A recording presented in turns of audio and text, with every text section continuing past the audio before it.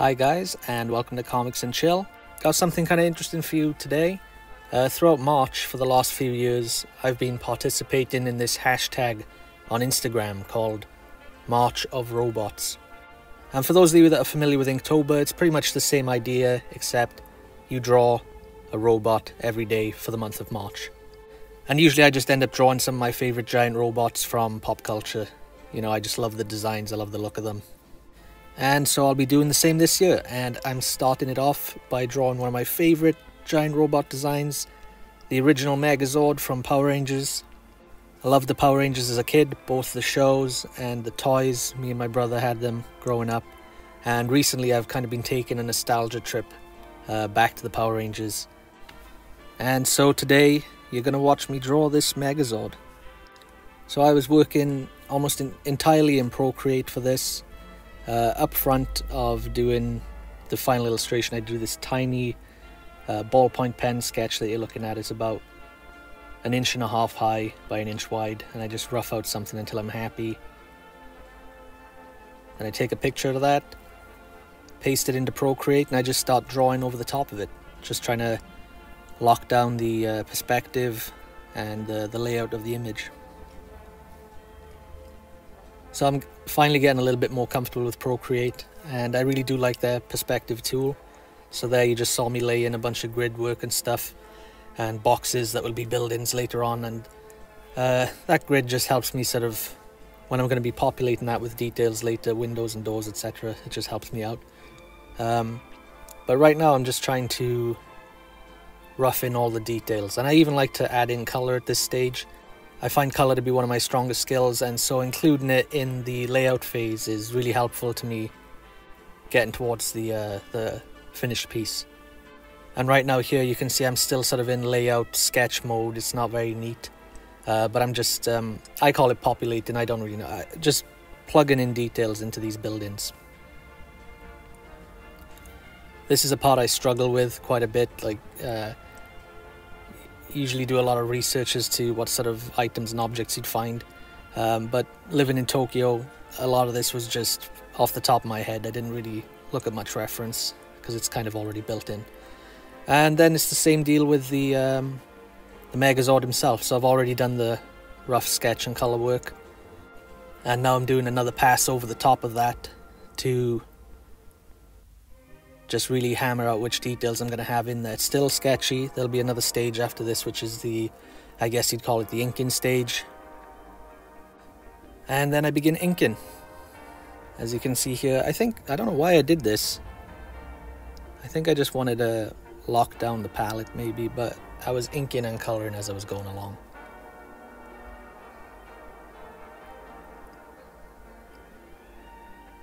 And all of this was done with the same brush. I only used one brush for the entire of this thing. Except for the sky, I used a soft round brush. But for the line work and the colouring, I used this brush that's built into Procreate and it's escaping me the name of it.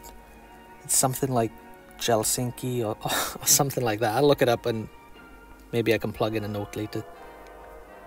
But yeah, from here on out, it's just putting in these final lines.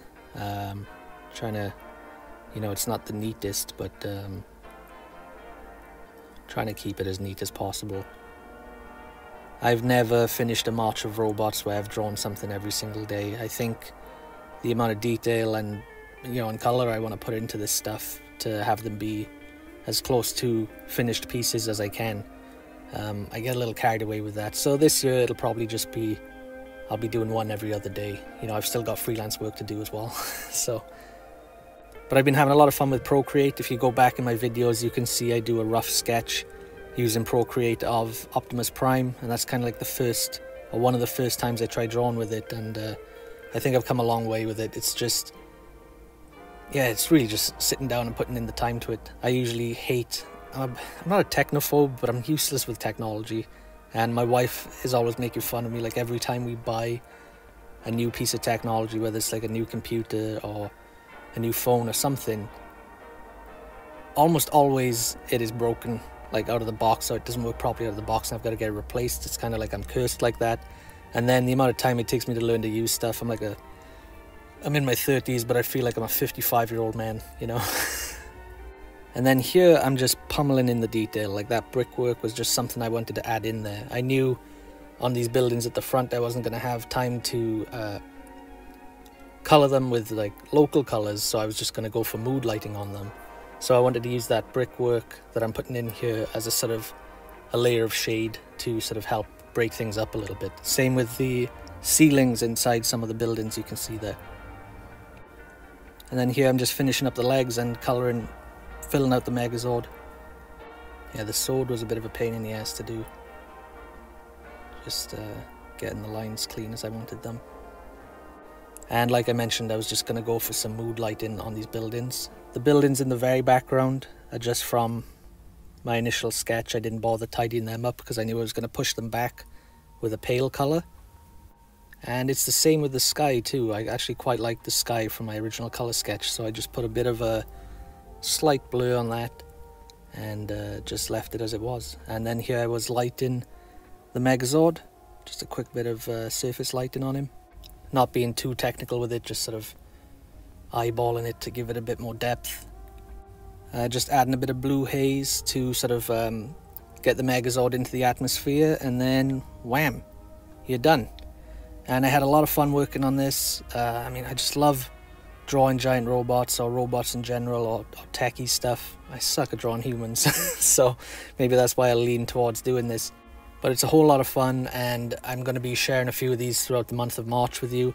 You can also check out my Instagram. I have the Instagram for Comix and Chill, but there's also my artist Instagram, which is at Dan Lee Comics, all one word, L W E for the Lee and you can check out some more of my art on there, my freelance colouring work that I do. You'll see some work from some of the personal projects I'm trying to get off the ground. But yeah, check it out, give it a follow, and you know, spread the word of the channel as always. Like, follow, and subscribe. Follow us on social media, and let me know what you think of this Megazord, because I had a lot of fun making it. I hope you had a lot of fun watching it. Take it easy.